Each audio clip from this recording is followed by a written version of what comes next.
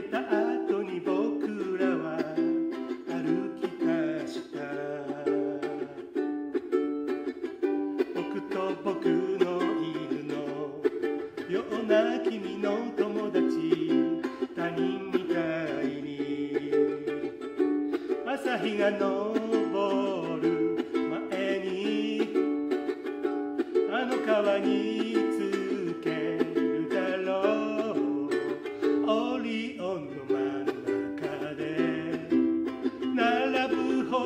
が僕らの遥か昔から光ってるいつの日か甘い星屑ポケットにいつでも持ってるような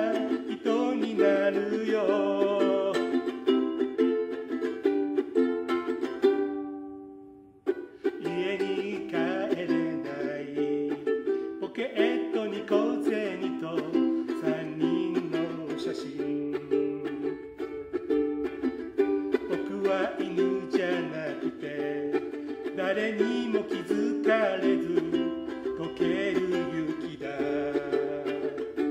触れることない星は夜空の川の向こ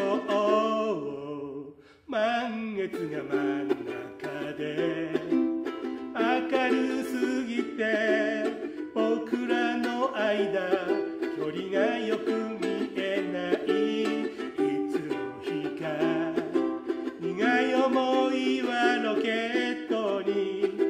せて飛ばせるような男になる。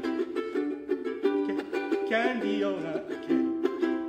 ゆっくり大人になってゆく僕ら何かを決めなきゃね。アルプスが遠くに見えたよ。